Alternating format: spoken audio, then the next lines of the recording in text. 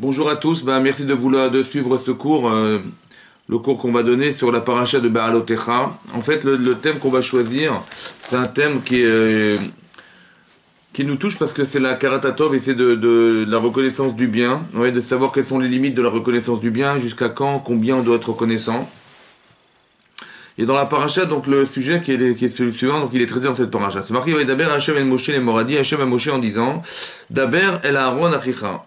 Donc parle à ton frère Aaron, va Martha et dis-lui, lorsque tu feras monter les nérotes, lorsque tu allumeras les, bougies, el moul menora, donc face à la menorah, yahiru shivat nerot, donc éclairons sept, sept lumières.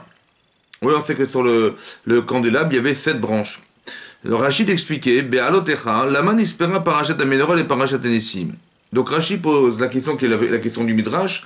Pourquoi dans la Torah on a juxtaposé les deux parachiotes La paracha qui précède, c'est la parachat Nassau, et dans la fin de la parachat Nassau, on traite du sujet des Nevi'im, les fameux, les fameux Nessim, pardon, qui avaient apporté chacun euh, son offrande sur le Misber le jour de l'inauguration du Misber de l'hôtel.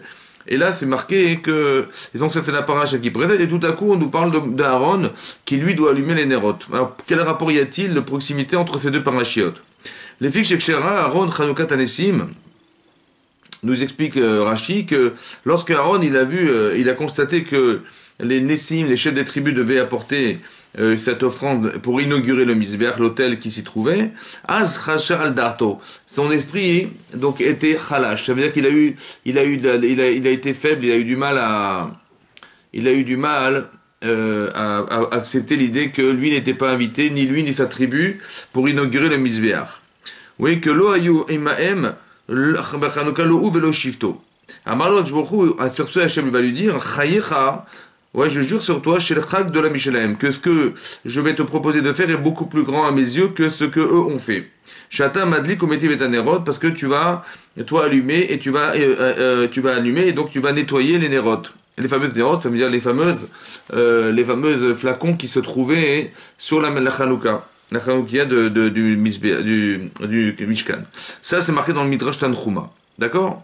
Maintenant, hein, Hachem lui a promis quelque chose. On a l'impression ici dans le texte que bah, il a eu de la peine. Vous avez compris Aaron a eu de la peine. Il n'a il a pas été invité euh, à venir euh, inaugurer le Misber. Et Hachem lui dit Mais t'inquiète pas, ouais, euh, je vais combler ton, ton, ton, manque et donc je vais te proposer, ouais, je vais te proposer d'allumer les nérotes. Alors qu'est-ce que c'est que cet allumage des nérotes? Qu'est-ce qu'il y a de particulier dans le fait d'allumer les nérotes, contrairement à ce que, les autres ont apporté, qui était, qui était d'apporter des, des, sacrifices sur le misbiar Alors, en fait, il y a Midrash Rabbah d'expliquer là-bas. Donc le Midrash Rabbah pose la question suivante. Lorsqu'on a demandé à Amon d'allumer les nérotes, en fait, les, ministres n'ont pas compris. Parce que à quoi ça sert de rajouter de la lumière sur la lumière? Il y a déjà euh, de la lumière, il le, soleil est un, est un astre éclairant extraordinaire, et on n'avait pas besoin de plus de lumière que ce qu'Hachem propose. Tu, es Oro chez l'Olympe, dit le Midrash, tu es déjà la lumière du monde. Est-ce qu'il était nécessaire de rajouter de la lumière alors que tu en déjà, tu en procures? Et Hachem va répondre en disant Je t'ai demandé d'allumer les nérotes. Pourquoi? D'allumer les nérotes parce que, effectivement, dans le désert, pendant 40 années, pendant 40 ans, on a dû être éclairé par Hachem. Ça veut dire qu'Hachem nous a éclairés pendant 40 années. Et pendant ces 40 années, on a eu de la lumière. Quelle lumière? De quoi il s'agit? Il s'agit de la lumière du feu, qui était la fameuse colonne de, de feu qui nous éclairait en permanence la nuit. Et Hachem a dit, je sais que vous êtes, vous, vous sentez redevable de la lumière que je vous ai procurée pendant 40 ans. Alors vous allez me rendre un petit peu de la lumière que je vous ai donnée en allumant les nérotes. Voilà. En fait, il y a quelque part quelque chose qui est, ressenti par les d'Israël qui devait être de la reconnaissance. On doit être reconnaissant du bien qu'on nous a fait. Et Hachem, pour nous soulager de cette reconnaissance, il nous propose d'allumer les nérotes. Oui, on a, il nous a proposé la lumière pendant 40 ans. Et ben lui, on va allumer les nérotes, un petit peu de lumière euh, dans la journée. Voilà. Voilà, c'est un petit peu ça qui se passe. Maintenant, le, le machal qui est proposé par le Midrash, c'est le suivant. C'est, euh, voilà, il y a, quelqu'un qui est malheureusement aveugle et qui est perdu, qui s'est garé dans le chemin. Et, donc, quelqu'un qui est voyant, qui le voit comme ça égaré, il lui dit, mais qu'est-ce qui se passe? Qu'est-ce qui, qu'est-ce qui vous arrive? Et il leur dit, bah écoutez, il lui dit, bah écoutez, je, suis égaré, je suis perdu. Il dit, mais vous allez où? Il dit, bah je rentre chez moi. Il dit, mais vous habitez où? Il dit, j'habite à tel endroit. Il dit, bah écoutez, je sais où vous habitez, je vais vous accompagner. Et, l'autre, et le non-voyant dit, bah écoutez, c'est très gentil euh, de m'aider à, me retrouver dans mon chemin. Et donc il, le, il, et donc il l'accompagne, le voyant l'accompagne chez lui. Arrivé dans la, maison de, l'aveugle, euh, le voyant dit à l'aveugle, eh ben, écoutez, on va rentrer chez vous. Et le, voyant, le non-voyant dit, bah, écoutez, pourquoi pas Et donc il ouvre la porte, il rentre. Et là, le voyant dit au non-voyant, allumez la lumière. Et là, le non-voyant ne comprend pas. Il dit, mais pourquoi je vais allumer la lumière? Mais vous voyez, c'est vous qui m'avez accompagné jusque-là. Pourquoi vous avez besoin que j'allume la lumière? Appuyez-vous sur l'interrupteur.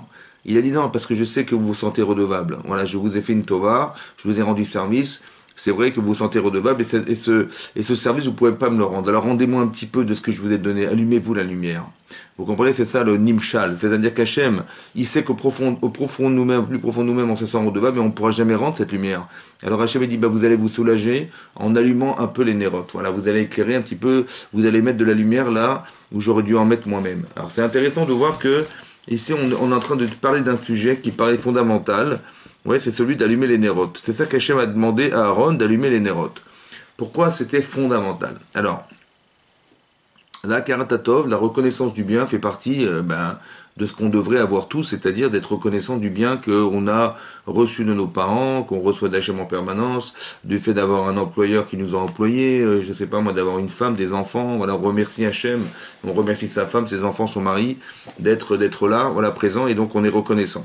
Cette mida, en fait, on la retrouve essentiellement dans plusieurs passages dans la Torah, et notamment dans un passage où là-bas il est marqué que, que lorsque les frères de Yosef ont jugé Yosef. vous savez que Yosef a été condamné par ses propres frères d'être Moret Bemalchut, c'est-à-dire qu'ils ont euh, renié la royauté de Yehuda, puisqu'ils ont interprété le rêve de Yosef prétextant que tout le monde allait se prosterner devant lui, ses parents également, et notamment Yehuda. Yehuda, hein, c'est la royauté d'Israël.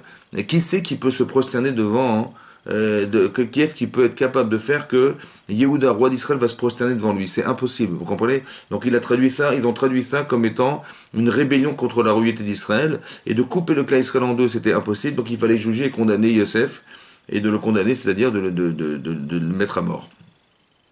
C'est une halakha que Mored Bemalchut, quelqu'un qui se rebelle contre la royauté d'Israël, il est condamné à mort. Et donc qu'est-ce qu'ils ont décidé? Ils ont condamné unanimement de de le tuer. Qu'est-ce qui va se passer Là, il y a un texte bizarre qui dit dans le Torah Veishma Reuven. Il a entendu Reuven, Veyatzileu Adam. Il a entendu Reuven, il l'a sauvé de leurs mains, d'entre leurs mains. Euh, qu'est-ce qui s'est passé? Demande Midrash Rabbah, hein, mais qu'est-ce qu'il a pu entendre qui l'a fait changer d'avis? Parce que Réhouven fait partie des, enfants de Yaakov qui ont condamné Yosef. Qu'est-ce qui a pu se passer dans la tête de, Réhouven pour tout à coup changer d'avis? Alors là-bas, le Midrash d'expliquer qu'en fait Réhouven, il avait un jour fauté. Vous savez que Réhouven, il a fait une faute qui était d'avoir un jour pensé que euh, son père avait eu tort, de, après la mort de Rachel, de mettre son lit dans la chambre de la servante de Rachel, qui était Bila. Il avait mis son lit dans la chambre de Bilha. Et là, c'est pour lui, Réhouven, c'était un affront pour sa mère, parce que sa, mère, c'était la femme de Yaakov Avinu. Et effectivement, Rachel était morte, mais la moindre des choses, c'est que Yaakov, il mette son lit dans la chambre de, de sa femme, qui était, qui était la femme qui lui restait, la femme qui était lui restée, qui était, qui était, qui était Léa. Et, quand il a vu que son père a mis son lit dans la chambre de Bilha, il a été offensé pour sa mère, et donc il a été prendre le lit de son père, il l'a mis dans la chambre de sa mère. C'est le texte qui dit Bilbel Yetsua Aviv. Il a, il, a, il, a, il, a, il a désacralisé à cause de son père. il a, il a, et en même temps, il a déplacé la Shrina.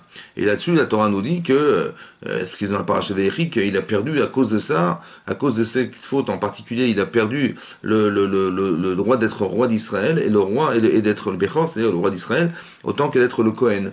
Voilà, c'est ça, ça a basculé sur Yehuda et ça a basculé sur Yosef. Maintenant, à cause de cette faute-là. Maintenant, il fait Teshuvah. Réhouven fait Teshuvah.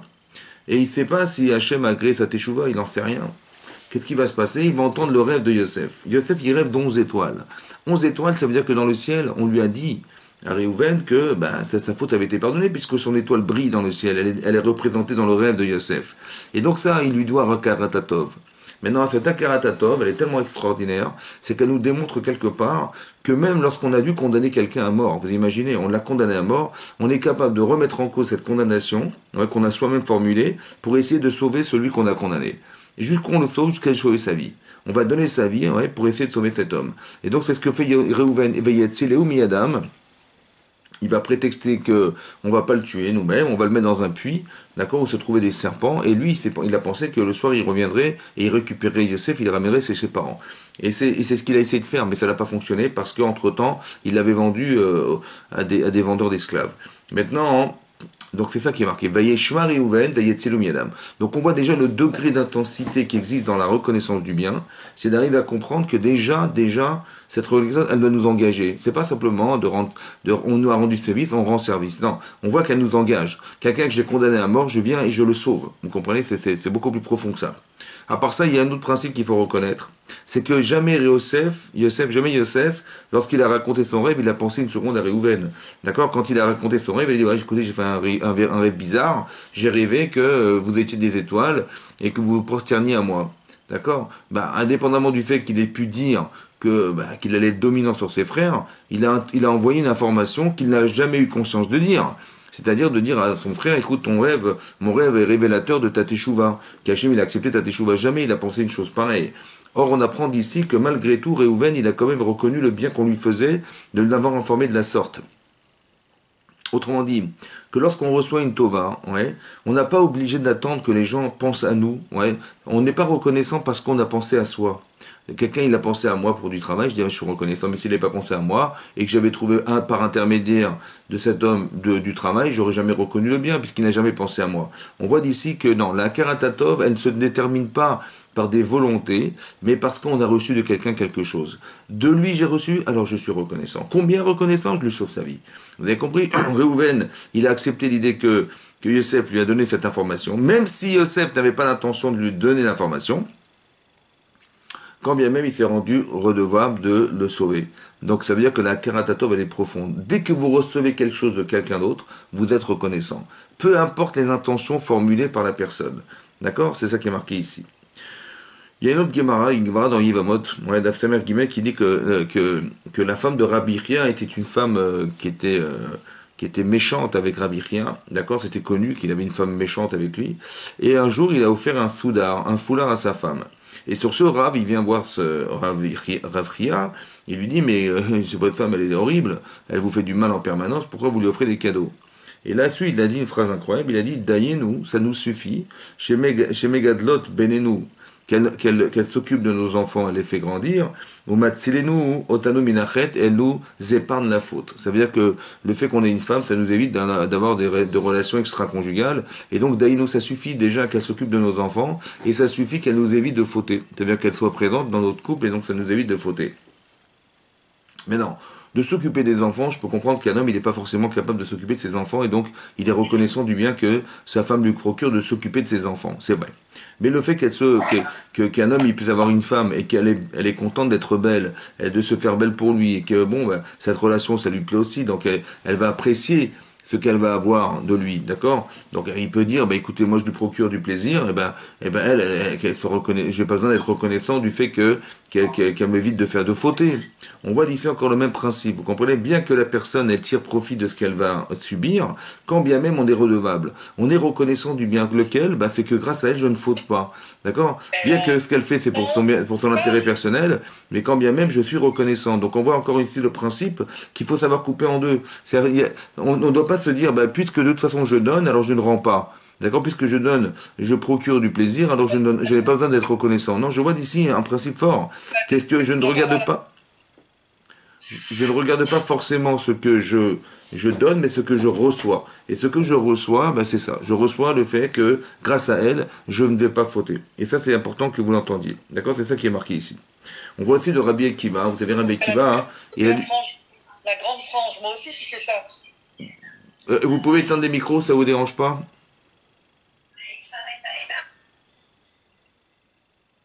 Alors, voilà. Euh, attendez, est-ce que vous m'entendez? Non, je ne sais pas si vous m'entendez, vous.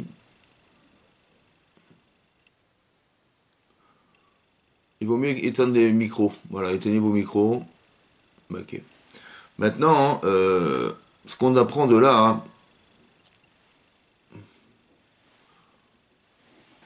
voyez, de Rabbi Akiva. Rabbi Akiva, hein, il, a dû partir pendant 12 ans à la yeshiva.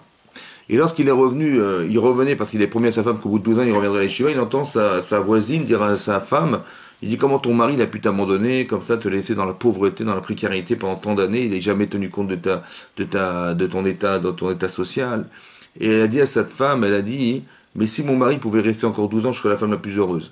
Et là-bas, l'Agmara dit dans Sanhedrin qu'il n'a même pas essayé de rentrer chez lui, il est reparti directement à l'Eshiva. Et donc, et donc, il est passé, donc il est finalement, il n'a pas passé 12 ans, mais 24 ans à l'Eshiva.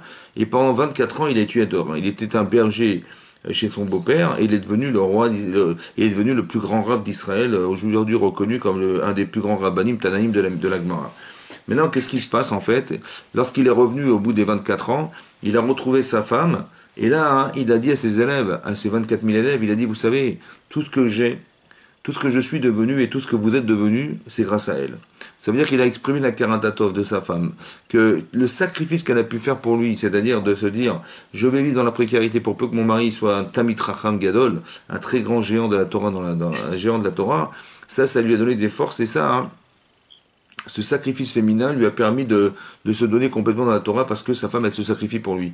Et lorsqu'il revient, il dit pas, ben, ma femme, elle est contente que je sois un grand Amitracham. Elle est heureuse de voir combien j'ai d'élèves. Et c'est pas ça qu'il s'est dit. Il a dit, Sheliv et Shelachem, tout ce que vous êtes devenu et tout ce que je suis devenu, c'est grâce à elle. Donc on est reconnaissant que l'origine de ce que nous sommes, eh ben, c'était elle. Vous comprenez? Et donc on est reconnaissant, c'est très important d'être reconnaissant de, ce que nous sommes. Et ça, il l'a formé auprès de sa femme, c'était important d'avoir de la karatatov, c'est-à-dire de savoir que le produit de ce que nous sommes, ben, il nous vient de notre épouse. Et bien ça, il faut lui dire. Et donc c'est important qu'elle le ressente, et c'est sa fierté, et ça, c'est important de le formuler. À part ça, il est marqué dans le Midrash, il y a un Midrash Rabbah qui dit que lorsque les filles des Yitro, elles ont elles ont, euh, elles ont été sauvées par Moshe Rabbeinu. Vous savez que Moshe Rabbeinu passait par là, à Midian, et euh, il a vu euh, des bergers qui attaquaient des bergères pour les empêcher de, faire boire leur, bétail. Et donc il est intervenu, Moshe, il les a dispersés. Et là, elles ont été voir, donc c'est les sept filles de Yitro, elles ont été voir Yitro, elles ont dit la, chose suivante, elles ont dit Ish Mitzri. Un homme égyptien nous a sauvés. Et le pshat, le sens littéral, c'est d'expliquer qu'elles ont vu Moshe Rabbeinu nous prenant pour un Égyptien, habillé comme un Égyptien, elles ont dit, ben, cet homme nous a sauvé la vie. Elles ont dit ça à leur père. Maintenant, là-bas, le Midrash expliquait la chose suivante. Que lorsque elles sont venues voir Moshe Rabbeinu, elles lui ont dit, merci de nous avoir sauvés, d'accord? Il a dit, ne me remerciez pas moi, remerciez l'Égyptien que j'ai assassiné. Parce que c'est parce que je l'ai assassiné que je me suis, j'ai été jugé, j'ai été condamné, je me suis sauvé, et finalement, ben, je me suis retrouvé chez vous euh, à Midian. Et donc, et donc, si je suis là, c'est grâce à lui. Et si je, et si je vous ai sauvé, c'est grâce à lui. Ne me remerciez pas, remerciez le mitzri que j'ai enterré. Et là-bas, c'est intéressant de voir que ce que propose le Midrash, c'est ce que l'exemple qui est donné là-bas, c'est pour donner une image de ce qui s'est représenté, c'est que en fait, euh, euh, quelqu'un qui un jour a été piqué par un serpent, un route c'est un serpent, et il a une morsure donc à la jambe, il a été mordu par un serpent, et il cherche absolument à se nettoyer, à nettoyer la plaie, en fait la, plaie, le venin qu'il a sur lui. Et donc il court, il court vers une rivière pour essayer de nettoyer sa plaie, il voit, il voit un enfant qui se noie. Et il plonge dans l'eau et il récupère cet enfant, il le sauve. Et là l'enfant lui dit, mais comment je peux vous remercier, vous m'avez sauvé ma vie? Il dit, mais ne me euh, remercie pas, remercie le serpent qui m'a piqué, c'est grâce à lui que je suis là. S'il si n'avait pas piqué, je n'aurais jamais, j'aurais été jamais capable de pouvoir me retrouver à cet endroit d'apprendre à reconnaître l'origine. Et donc la reconnaissance. Ne me remercie pas, remercie ce qui est la cause de mon, de, mon arrivée ici. Ne me remerciez pas, ne remerciez le mitri qui, qui, qui m'a permis d'être là.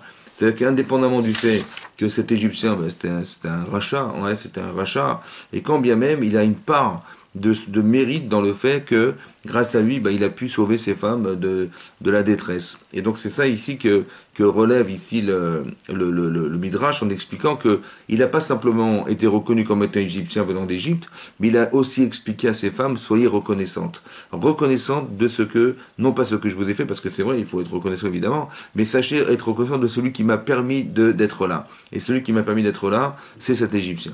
D'accord? Donc on voit des exemples dans la paracha ou encore on voit la Karatatov. Donc la, Torah insiste. La Torah insiste également lorsque dans la paracha de Matot, Hachem demande à Moshe Rabbeinu d'aller faire la guerre contre Midian pour venger en fait les Israël et Hachem. Pourquoi les venger? Ça veut dire qu'il va faire la justice. C'est ça la vengeance. Hein. Ne pas imaginer qu'Hachem va être vengé par quelque chose ou quelque soit, quelque personne qui soit. Non, c'est quoi Il fallait faire la guerre. Pourquoi? Parce que les Midianim, c'est des gens qui avaient corrompu les Israël, ouais, euh, à cause de Balak et Bilam, que euh, Bilam, il, s'est rendu compte qu'il n'arriverait jamais à maudire les Israël, puisqu'Hachem lui refusait de les maudire. Donc qu'est-ce qu'il a fait? Il a essayé de provoquer la colère d'Hachem en faisant fauter les Israël. Donc qu'est-ce qu'il a fait? Ben, Il a demandé aux filles de Midian ouais, de se dévergonder carrément et de, et des et donc d'être prises par les, par les d'Israël. Et là, les d'Israël sont tombés dans ce piège, et ils ont fauté. Et donc Hachem m'a dit, ben, puisqu'ils vous ont fait fauter, puisqu'il y a eu 24 000 morts qui, ont été engendrés par, cette, euh, par l'épidémie qui a été déclenchée par la faute, alors vous allez venger euh, les Israël des Midianim. Et donc, euh, et donc qu'est-ce qu'il y a Et donc Hachem, il dit à Moshe Rabbeinu, Nakom, Nikmat et Ben Israël, allez, allez Nikom, Nikmat, donc allez venger les enfants d'Israël. Et qu'est-ce qui se passe? Qu'est-ce que fait Moshe Rabbeinu? Ben, Moshe Rabbeinu, il, il, va demander donc à Eliazar et Pinchas, oui, de d'aller d'aller faire la guerre, de prendre l'armée et d'aller faire la guerre contre les Midianim. Alors là-bas, le Midrash explique pourquoi il n'a pas été lui-même. Pourquoi il n'a pas été lui-même? Pourquoi il n'a pas été. On lui a demandé d'aller faire la guerre, et pourquoi il n'a pas été faire la guerre lui-même? Et là-bas, c'est marqué que il s'est senti redevable. Il a dit Moi, j'étais aussi à Midian un jour. J'étais à Midian, j'étais un jour sauvé par cet homme qui était Yitro, et que grâce à lui j'ai été j'ai échappé à la justice, il m'a caché pendant toutes ces années, je suis reconnaissant et j'ai pas envie de briser cette reconnaissance. C'est pour cela que il a refusé d'aller euh, exercer ce, cette mission qui était ordonnée par Hachem. Mais alors c'est quand même bizarre. Hachem lui propose d'aller faire la guerre contre Midian et lui il y va pas, il envoie Hazar et Pinchas. Donc ça paraît, ça paraît étonnant. Comment, et d'où il a su, Moshe Rabbeinu, et d'où il a su que malgré l'ordre d'Hachem, quand même par raison de Akaratatov, de reconnaissance du bien, on se permettra jamais de faire quelque chose qui va contredire la reconnaissance du bien. D'un côté, j'ai reçu du bien de Midian, et d'un côté, je vais refaire la guerre, et je vais détruire Midian. C'est étonnant. Alors il dit, bah, donc j'ai pas le droit de le faire. Mais d'où tu sais que lorsqu'Hachem t'ordonne de faire une chose qui est contraire à ce que tu penses, tu dois quand même écouter ce que tu ressens? Alors en fait, d'où il a tiré ça? Il a tiré ça hein, des Makot Mitzrayim. En fait, les plaies d'Égypte, il y a eu dix plaies d'Égypte. La première plaie, c'est Dame. La deuxième, c'est Tfardéa, les grenouilles. Dame, c'est le sang, les grenouilles. Ensuite, les grenouilles. Kinim, c'est les poux. D'accord? Alors, qu'est-ce que c'est que les poux Donc, il faut voir que, il faut croire que, euh, quand, on, quand euh, Hachem a demandé à Moshe Rabin de taper sur le Nil, il a refusé. D'accord? Il a tapé sur le Nil, il a refusé. Il fallait que ce Nil devienne du sang, il a refusé. Il a dit je peux pas. Et ni les grenouilles, je peux pas. Pourquoi? Parce que je t'ai sauvé du Nil. Parce que quand ma mère, elle m'a mis dans le Nil, c'est le Nil qui m'a permis de me sauver et que j'ai pu être récupéré par la fille de, de Paro grâce au Nil. Que les grenouilles vivent dans le Nil. Que, que les, quand il a fallu, il fallait frapper la terre euh, pour envoyer des poux. Euh, euh, bah, il a dit, mais si, ce n'était que la terre, le sable avait accepté d'enterrer, la poussière d'enterrer cet Égyptien, j'aurais jamais pu l'enterrer. Donc, et donc il se sentait redevable. Et de là, il a appris que, que on lui a demandé de, frapper sur le Nil, on lui a demandé de taper de nouveau dans le Nil pour organiser l'opulence des, grenouilles et, de, de, frapper sur la terre pour euh, développer ses, les, poux et, les furons. Et donc il a refusé. Il a refusé et il a vu qu'Hachem a accepté. Il a demandé à Aaron de le faire. Et c'est de là qu'il a compris ouais, que dans la vie, on n'est pas obligé de faire ce qu'on croit. C'est-à-dire que lorsqu'Hachem lui dit Nakom Nikmad, allez venger l'Israël, évidemment que dans l'ordre d'Hachem, il, avait, il avait inclus l'Ankaratatov. Donc il a dit, il a jamais dit, on aurait pu interpréter cette mitzvah qui vient d'Hachem comme étant propre à soi-même, de comprendre qu'il fallait absolument, les, absolument se débarrasser d'eux et que Moshe était le vecteur essentiel de cette, de cette justice. Il s'avère que non. En fait, jamais Hachem lui a donné d'y aller lui. Il a dit Nakom Nikmat à l'évangile, il parlait pas de lui, il parlait de, des autres. Il fallait envoyer quelqu'un d'autre, et évidemment pourquoi? Parce que dans le dans l'ordre d'Hachem, on inclut les notions d'Akaratatov. Il y avait cette notion de reconnaissance du bien. Jamais, au grand jamais, Hachem lui aurait dit d'aller faire lui-même la guerre. Vous comprenez? Parce qu'il devait avoir cette reconnaissance en lui et ne pas trahir cette reconnaissance. Lorsque Moshe Rabbeinu a été invité à libérer les d'Israël, il va discuter avec Hachem pendant une semaine. D'accord? Et à un moment donné, il va, il va finalement accepter. Mais là-bas, dans le texte de la Torah, c'est marqué euh, une chose étonnante. C'est aussi marqué que euh, Moshe Rabbeinu, euh, n'a jamais euh, accepté de partir en Israël, si ce n'est qu'il avait demandé la permission à son beau-père. Il dit d'abord je vais aller voir mon beau-père, lui demander la permission de pouvoir y aller. Et lorsque il, il acceptera, alors je dirai. S'il n'accepte pas, je n'irai pas. Alors c'est étonnant quand même. Parce que Hachem lui propose, vous imaginez la mitzvah que lui incombe Hachem de sauver le clan Israël. Et lui, il a trouvé, il n'a rien trouvé d'autre que de dire, eh ben, attendez, je vais demander à mon beau-père. Euh, le genre idéal qui va demander à son beau-père, est-ce que vous acceptez que je m'en aille? C'est quand même étonnant. comment ça se fait qu'il a été obligé d'y aller? À part ça, hein, d'aller voir son beau-père. À part ça, chaque seconde qu'il perd d'aller voir son beau-père, c'est des gens qui, qui, vont souffrir encore en Égypte. C'est des gens, ils étaient martyrisés en Égypte. Il y a des gens qui mouraient sous les coups. Et donc, le temps qu'il a été d'aller, le temps passé à les récupérer l'accord de son beau-père, Mais pour moi, c'est un temps perdu. Et si Hachem lui dit vas-y, bah, il fallait courir. Il fallait même pas, même pas envisager d'aller voir Yitro. En fait, le Midrash d'expliquer là-bas, il y a un Midrash, il y a un Yakut chez qui explique que en fait, Moshe, il a été voir, il a été voir Yitro pourquoi? À cause de la Karatatov. Il dit, il m'a, il m'a sauvé, il m'a dit, alors je lui dois à Karatatov. Mais qu'est-ce que ça veut dire? En quoi c'est nécessaire et c'est euh, logique dans cette, dans cette démarche?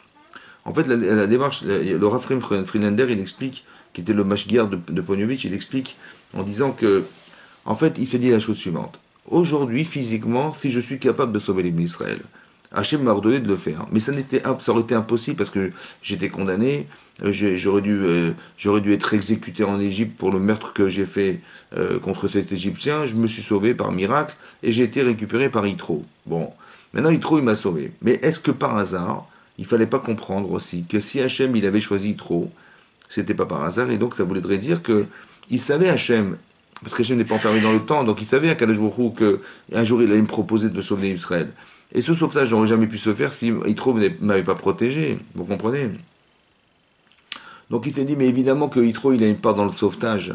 Il a un pourcentage évident de route de mérite de sauvetage du cas Israël. Or, si je ne vais pas le consulter pour lui demander est-ce qu'il est d'accord, et que je vais partir seul, je n'aurai pas cette potentialité parce que, parce qu'il va me manquer le pourcentage de mérite de Yitro. Et ça, et comme il était reconnaissance du bien que lui avait fait euh, Yitro de l'avoir sauvé, c'est ça qui lui a permis de partir conscient que s'il n'a pas son accord, de toute façon, il va échouer. Vous comprenez? Parce que si Hachem il a choisi que, et que euh, c'est Yitro qui lui a sauvé sa vie, quelque part, il a une part dans le sauvetage. Parce qu'aujourd'hui, sans lui, je n'aurais jamais été là. Vous comprenez? C'est pour ça qu'il se dit, je suis reconnaissant de ce que Yitro m'a fait, et c'est évident qu'Hachem il en tient compte, et donc quand je vais devoir partir en, Égypte pour aller euh, demander, négocier avec Yitro, avec, Paro, pardon, c'est évident que Yitro il a une part de, de, mérite, donc je vais devoir lui demander son accord. Et c'est cet accord-là que j'aurai qui va me permettre, avec le sien et mon route personnel, de pouvoir sauver une Israël. C'est ça ici qu'il y a cette, cette logique de reconnaissance du bien. La logique qui permet à l'homme de comprendre que tout ne vient pas que de lui, mais la reconnaissance qu'il a de l'origine de ce qu'il est, elle doit, être prise en compte dans le, mérite de, de, de Yitro. Il est marqué dans les Perkavot aussi, vous savez, dans les Perkavot, c'est marqué dans le Perik Bet, là-bas dans la Mishnah Tête, c'est marqué Ra'a, Shitrachek Bimeno Adam.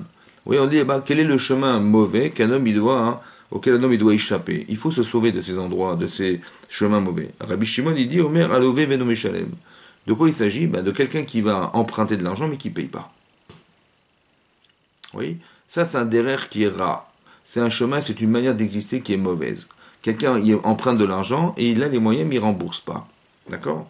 Et après c'est marqué, donc quel est le chemin qu'il faut emprunter qui est droit? Oui, derrière qui bo adam. Dit le Birkavot, quel est le chemin droit auquel un homme il doit s'attacher fortement, oui. Et là-bas, il dit, au lieu de dire comme tout le monde, il va dire, chacun a proposé quelque chose de négatif dans le mauvais chemin, il a dit exactement l'inverse dans le bon chemin, lui, il n'a pas dit l'inverse. Il a dit à à Anolad.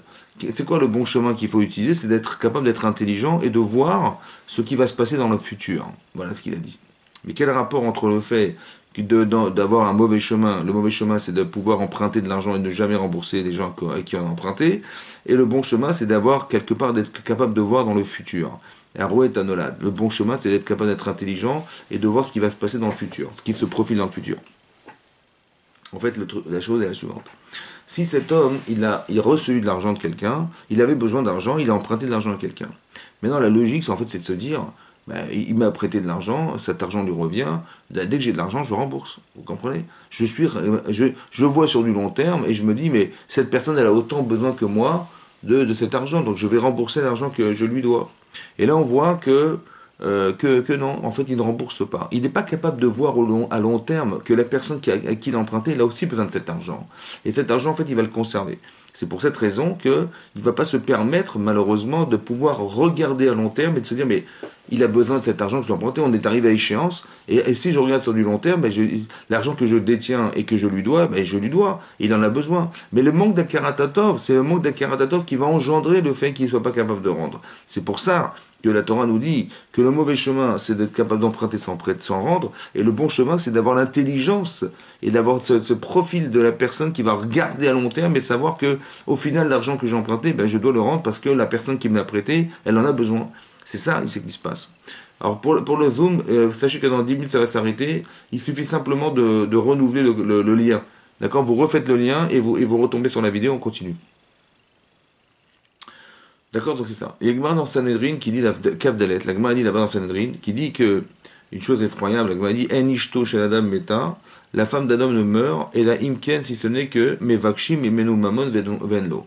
Que que si quelqu'un lui réclame d'argent qu'il doit, et il rembourse pas, il a l'argent, il rembourse pas, il peut perdre sa femme, dit l'Agmara. Effroyable. Alors qu'est-ce que ça va voir Est-ce qu'on va imaginer que parce que monsieur n'a pas remboursé sa dette, alors sa femme doit mourir Non. Il faut bien comprendre que non. En fait, l'idée c'est que L'idée c'est que, bon, si elle doit disparaître, à Shalom, hein, bah, c'est par sa faute. Elle a dû faire des avérotes qui vont faire que euh, bah, elle, doit, elle, doit, partir, disparaître, par sa faute. Seulement, elle n'aurait jamais pu disparaître si son mari ne méritait pas qu'elle disparaisse parce que c'est très injuste vis-à-vis de son mari, qu'elle doit, elle, mourir, et que, et que lui va, va être victime de la mort de sa femme. Maintenant, pourquoi c'est marqué dans la Gemara que En Meta, une femme ne meurt que si son mari n'est pas prêt à rembourser ce qu'il doit alors qu'il a les moyens de le faire?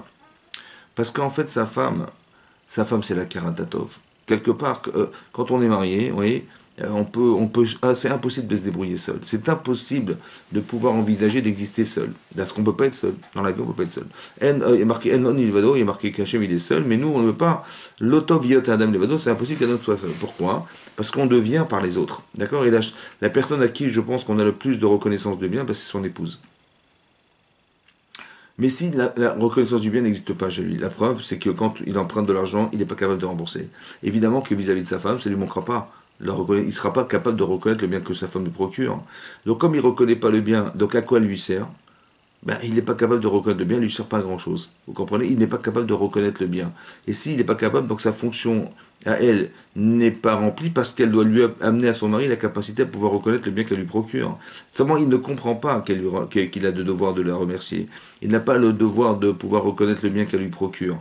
C'est pour ça que, quelque part, hein, il n'a pas besoin d'elle, entre guillemets, donc elle peut disparaître et ça ne le dérangera pas plus. Vous comprenez? C'est-à-dire que sa femme, elle peut vivre, oui, même si elle ne méritait pas de vivre pour elle-même, parce que quelque part elle a fauté, elle devait disparaître, mais elle ne pourra pas mourir si son mari a besoin d'éprouver la karatatov euh, qu'il a vis-à-vis d'elle. Alors elle va vivre grâce à ça. Vous comprenez ce qui est marqué? Donc c'est important, vous voyez combien, combien l'amplitude peut avoir de, la karatatov, ça doit être important aux yeux du clan d'Israël. C'est aussi marqué donc pourquoi Hachem il a il a proposé à Aaron d'allumer les nérotes. Oui, on a vu qu'allumer les nérotes, c'était quoi? C'était la reconnaissance que qu'on doit avoir vis-à-vis d'Hachem, parce qu'Hachem nous a éclairé pendant 40 ans dans le désert, et on se sent redevable. Comment on va lui rendre? Alors on va lui rendre de quelle manière? On va lui rendre parce qu'on va allumer les nérotes. Mais non, qu'est-ce qu'il a voulu prouver du Midrash? Il a voulu prouver que, que c'est pas n'importe qui qui peut rendre Hachem.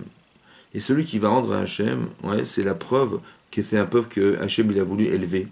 C'est pour ça qu'il est marqué que la halot pour nous pour nous élever au-dessus des autres, des autres peuples, montrer qu'on est un peuple choisi.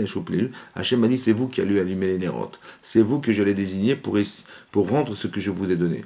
Je vous demande la karatatov à vous personnellement parce que c'est à vous qu'un comble devoir de montrer que j'existe et que, et, que c'est vous que j'ai choisi comme peuple. Ça fait partie des éléments moteurs fondamentaux de, la karatatov. Maintenant, il est marqué aussi dans la dans Megillah, vous savez, c'est marqué là-bas hein, que c'est marqué là-bas que lorsqu'Esther Amalka, elle a entendu dire de Mordechai qu'il y avait deux personnes qui complotaient contre le roi. Vous Vateresh, qui étaient deux eunuques du roi, qui complotaient contre le roi pour l'assassiner. Et donc Mordechai était présent lorsque son complot s'est organisé, il a entendu. Il parlait un langage que lui pouvait comprendre parce qu'il comprenait 70 langues, alors qu'eux pensaient qu'il comprenait rien. Et donc il a été dire à sa femme, qui était Esther Amalka à l'époque, il a dit il y a deux personnes qui complotent contre le roi. Et donc Esther, qu'est-ce qu'elle a dit? Elle a été dire au nom de Mordechai, au nom de Mordechai, ouais, qu'il y a deux personnes qui complotaient contre le roi, ils voulaient l'assassiner, l'empoisonner. On a fait une enquête, et ça, c'était juste, et donc on les a jugés, condamnés, ils ont été condamnés. Et donc on a écrit dans le livre des chroniques, ouais, que, un jour, Mordechai a sauvé la vie du roi. Et qu'est-ce qui se passe? Euh, Lorsque le ne trouvait pas le sommeil, il a demandé à ce qu'on lui lise le livre des chroniques, et on lui lit effectivement que Mordechai lui a sauvé la vie. Et il a dit, mais qu'est-ce qu'on lui a donné comme récompense à cet homme qui m'a sauvé ma vie? Il a dit, bah rien. Et tout à coup, Aman, il tape à la porte, il veut absolument euh, pendre Aman. Et de là, on apprend que là, c'est là que tout va se déclencher, et que c'est marqué dans la Gemara que Kol Omer Davar Momro, tout celui qui dit quelque chose au nom de celui qui lui a appris, ouais, Kol Omer Davar Momro, donc tout celui qui dit quelque chose au nom de celui qui lui a enseigné, Mevi Geoula Laolam, oui, et va, il va avorter la Géoula dans le monde. Et, sur ce, c'est marqué parce que bah, Tomer Esther, parce qu'elle a dit Esther Béchem Mordechai. Vous avez vu qu'ici, que si Esther était venue et qu'elle avait dit en son nom à elle propre, elle avait dit voilà, je vais sauver la vie en roi, et comme ça je vais être bien avec lui. Elle n'aurait pas mentionné Mordechai, et ben ça n'aurait pas fonctionné. Non, quand vous entendez quelque chose de quelqu'un, la moindre des choses, c'est la reconnaissance du bien que vous leur devez. Et eh ben vous, vous dites au nom de ceux qui l'ont, qui vous l'ont enseigné. À Omer Davar Momro, tout celui qui va répéter une halakha, qui va répéter un Dvar qui va répéter une information, il va pas le dire en son nom. D'accord? Il va pas se voler il va pas voler l'information, il va, il va dire je l'ai apprise de quelqu'un et je vous la transmets au nom de la personne qui me l'a enseigné. Donc, Kol Omer Davar mais vite Geoula. Maintenant, ça apporte la Géoula. Effectivement, la Géoula s'est déroulée de cette manière. C'est-à-dire qu'Hachem, il a délivré d'Israël de cette manière. Comment il a pu pendre Aman bah, Grâce au fait que Esther est dit au nom Mordechai et que, et que cette, euh, comment dire, le, fait qu'il ait été sauvé à euh, par Mordechai, eh ben, on lui fallait lui donner une récompense, et la récompense, finalement, c'est ce qu'il lui a fait. La récompense qu'il a reçue, c'est celle d'avoir pu euh, monter sur le cheval du roi, avec tout ce qu'on sait être le cavote qu'on lui a fait, les honneurs qu'on lui a fait. Maintenant, Maintenant, le Maharal de Prague, il pose la question suivante, il demande, il dit, mais je comprends pas. En quoi le fait qu'on puisse dire quelque chose, c'est un principe, c'est une règle, hein, que quand on dit quelque chose, il faut le dire au nom des gens et ça s'amène à Géoula. Qu'est-ce que, là-bas, effectivement, dans le cadre de, de, Purim, c'est vrai que ça a fonctionné. Mais en quoi le fait que tous les jours, on va dire au nom des autres et que ça va amener la Géoula dans le monde? Qu'est-ce que ça va avec la Géoula dans le monde? La délivrance dans le monde. Alors là-bas, il explique comme ça. Si je m'habitue à dire au nom des autres. Ça veut dire que moi j'ai appris quelque chose, je veux dire j'ai appris une information d'un tel, euh, je sais pas moi, de l'actualité, euh, des informations, de mon rave, euh, je dis en son nom. Bon, en fait ma gymnastique intellectuelle c'est d'arriver à répéter l'information au nom de celui qui me l'a dite. Mais celui qui l'a dit, il a su de qui? Bah, De celui qui lui a dit. Et celui qui l'a dit, de qui l'a su? Voilà, j'ai écouté un Dvar Torah, euh, j'ai lu une Gemara, mais cette Gemara, d'où elle vient? Ben, Elle vient de Ravina Veravashi, mais Ravisha Veravashi, il doit su d'où ben, Il doit su de Tel Rav, et Tel Rav, il a su de qui? On va monter jusqu'où? On va monter jusqu'à celui qui est le premier informateur, qui était, qui était Moshe Rabbeinu. D'accord? C'est lui qui a enseigné la Torah euh, dans, le désert, dans toute l'année, les 40 ans du désert, on a appris la Torah, indépendamment de toutes les informations qu'on a eues de Mont Sinaï. Mais, finalement, la Gemara, tout ce que nous avons comme enseignement de la Torah, la Torah Shebalpé, elle vient de Moshe Rabbeinu. Mais Moshe, il a, reçu de qui? Il a reçu d'Hachem. Vous avez compris que si on est capable de remonter à la source, mais la source de tout, c'est Hachem, vous comprenez? C'est que l'idée, c'est d'expliquer que si on est capable d'avoir la reconnaissance de celui qui nous l'a enseigné et d'avoir l'honnêteté intellectuelle de dire que c'est lui qui me l'a apprise, alors je saurais remonter à l'origine. L'origine, c'est Hachem. Et c'est pour ça que on pourra tous être d'accord que si Hachem est à l'origine de tout, alors ça amènera la Géoula. C'est ça qui est marqué là-bas. C'est ça l'enseignement qu'on tire effectivement de ce principe, ouais, que Kol Omer d'avoir Monro, que tout celui qui va dire un enseignement au nom de celui qui nous l'a enseigné, on amènera la Géoula Baonam, et c'est ce qu'on souhaite, Bézard Hachem que tout ça, ça amènera à ce qu'on soit Mekir Tova, c'est-à-dire qu'on ait cet Akaratatov et que ça puisse amener la Géoula Baolam, Be'ezat Hashem. Vous voyez, qu'on puisse être reconnaissant du bien, c'est quelque chose de fondamental. Dans un couple, c'est fondamental. Vous voyez, parce que quand on est reconnaissant du bien, d'avoir un mari, d'avoir une femme, d'avoir des enfants, grâce à Dieu, on a des enfants, et ça, ça nous permet au minimum, je pense au minimum, et eh ben, d'avoir un couple solide, parce que je dois tout à mon épouse, je dois tout à mon mari, si je suis femme, c'est grâce à lui, si je suis mère, c'est grâce à lui, si je suis père, c'est grâce à lui, c'est grâce à elle, pardon, et ça c'est très important que la, reconnaissance du bien, qui est un élément fondamental de consolidation du couple. Parce que c'est grâce à elle et grâce à lui que je suis, que mon couple a un sens, que j'ai des enfants grâce à mon mari, que j'ai des enfants grâce à mon épouse. Et donc c'est important que voilà tout ce qu'elle fait pour moi, tout ce qu'il fait pour moi, c'est de, la reconnaissance personnelle et, et, très puissante. Et c'est de cette manière-là, uniquement de cette manière, qu'on va pouvoir reconstruire une vie de couple qui soit solide, qui soit construite sur quelque chose qui s'appelle la karadatov, la reconnaissance du bien. C'est aussi marqué dans la paracha de Noach, Là-bas, c'est marqué que lorsque les, habitants de la terre, qui étaient finalement les petits-enfants de Noir, les, seuls rescapés du déluge, dont les parents avaient échappé au déluge, eux, qu'est-ce qu'ils ont fait? Ben, ils, ont, construit un jour une tour. Ouais. Ils se sont rassemblés dans une bika, dans une vallée. Le monde, le monde entier s'est rassemblé dans une bika, une vallée, et ils ont construit une tour. Et cette tour, en fait, elle était là pour essayer de faire la guerre contre Hachem. Bon, évidemment qu'ils n'étaient pas stupides de croire qu'on va monter sur une tour, on va arriver au ciel. Non, l'idée c'est de dire qu'on va construire quelque chose un, monument qui est le révélateur de l'intérêt de, de, se battre contre Hachem. Oui, c'est comme vous voyez, euh, euh, au centre de la ville, il y a un monument qui est là, qui est représentatif.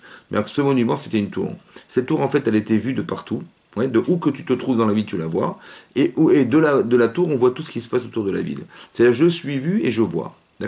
Donc c'est important de comprendre qu'ils avaient un seul langage, ils avaient une seule, une seule idéologie. Safahat varim achadim, un seul langage et une seule idéologie, c'était celle de faire la guerre contre Hachem. Voilà ce qui s'était passé. Maintenant, on demande Rashi, là-bas c'est marqué, c'est marqué là-bas, pardon, c'est marqué, Vayere d'Hachem Lirot. Hachem est descendu voir, et Tahir et Amigdal. La, la ville et la tour, Asher Banu Ben Adam. Ouais, la ville et la tour qui avait construit les fils de l'homme. Et donc, on nous explique là-bas que c'était qui les fils de l'homme? Ouais, c'était ça. Il fallait absolument comprendre qui c'était ces fils de l'homme. Alors là-bas, le Midrash explique que les fils de l'homme, en fait, c'était les fils de Adam Arishon. C'est qui Adam? Les fils de l'homme. C'est qui cet homme? Bah, Évidemment que les gens qui sont les habitants de la terre, c'était les enfants, oui, des enfants de Noir. Donc il fallait dire les enfants de Noir, ou les petits-enfants de Noir. Là-bas, c'est pas marqué ça, c'est marqué les fils de l'homme. C'est qui cet homme? Là-bas, on explique que cet homme, en fait, c'est Adam Arishon. Adam Arishon. Pourquoi? Parce que lorsqu'Adam Arishon a dit un jour à, Hachem, en répondant à Hachem, quand Hachem lui a proposé, il a demandé de, savoir pourquoi il avait mangé du Etzada Tovara, il a répondu bah, C'est la femme que tu m'as donnée. c'est elle qui m'a proposé de manger. Là-bas, c'est marqué qu'il n'a pas été, il était kafouille Tova. C'est-à-dire qu'il n'a pas reconnu le bien qu'on lui ait procuré une femme. Oui? Matsaïcha Matsatov. Donc il n'a pas reconnu, il a dit bah, c'est à cause d'elle. Voilà, c'est elle qui m'a proposé de manger du Etzadarat. Et comme il était kafouille donc il n'a pas été reconnaissant effectivement du bien qu'on lui procurait une femme, alors cette manque de reconnaissance a engendré, c'est le petit enfant de Noir, donc 12 générations plus tard, un manque de reconnaissance. Et en vérité, on aurait dû être reconnaissant, parce que quand on est les, gens qui ont été sauvés du déluge, nos parents étaient sauvés du déluge, ils étaient que, ils étaient que, que 8, nos grands-parents, il y avait notre grand-père qui était à Noir et, son épouse, il y avait trois personnes qui étaient les enfants, en fait, avec leur, leur, femme, et les, rescapés du déluge, c'était eux. Au lieu de dire grâce à Dieu, nos parents étaient des sadikim, et grâce à Dieu, nous sommes vivants, ils ont fait l'inverse. Ils n'avaient pas de reconnaissance. Et c'est ça qui a engendré la rébellion. Ça veut dire quoi? Ça veut dire que, autrement dit, ça veut dire que bah, d'abord, ça veut dire qu'on transmet ce que nous sommes. parce que si on n'est pas reconnaissant, bah, nos enfants ne le seront pas. Et ce, qui, est intéressant de voir, c'est que c'est parce qu'ils n'ont pas été reconnaissants qu'ils se sont rebellés. Autrement dit, ça veut dire que si on n'a pas de reconnaissance vis-à-vis de son épouse, vis-à-vis de son mari, on peut, rasver shalom, engendrer de manque de reconnaissance. On n'est pas plus capable de dire merci. Et comme on n'est plus capable de dire merci, qu'est-ce qui va se passer? C'est qu'un jour, on pourrait renier Hachem. Vous comprenez ce que ça veut dire? C'est-à-dire qu'on pourrait renier celui qui est à l'origine du bien. C'est que si je ne reconnais pas le bien, ben, je peux très bien penser que ben, c'est la nature, c'est voilà, c'est grâce à la nature qu'on est là, c'est grâce à euh, grâce à mon travail que je réussis, c'est grâce à tout ce que j'ai. Je n'ai aucune reconnaissance des éléments présents. Et ça, c'est dû à quoi? Parce que je n'ai pas le sens de la reconnaissance, je ne sais pas dire merci. Et donc, je ne vois pas le bien qu'on me procure. On est tout le temps capable de voir le bien qu'on nous procure. Il faut absolument le voir pour être capable de pouvoir reconnaître et dire merci à celui qui nous l'a procuré.